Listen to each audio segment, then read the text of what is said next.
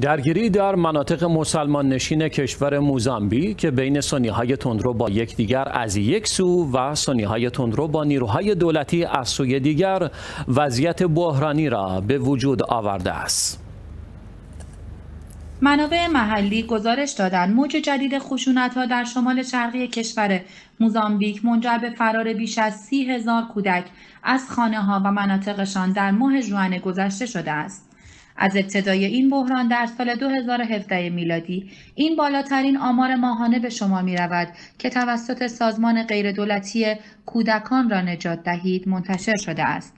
استان فقیر و عمدتا مسلمان نشین کابو دلگادو حدود پنج سال است که صحنه خشونت های روزافزون سنی های تندرو تروریستی است با این حال کمک های نظامی از رواندا و کشورهای مجاور از سال گذشته تا حدودی آرامش را فراهم کرده است طرح آکلد ویژه ثبت اطلاعات درگیری های مسلحانه در همین راستا اعلام کرده که جوان گذشته در جریان حملات سنی های تندرو دست کم 50 نفر کشته شدند و بیش از 60 هزار نفر از جمله حدود 33 هزار کودک مجبور به ترک منازل خود شدند.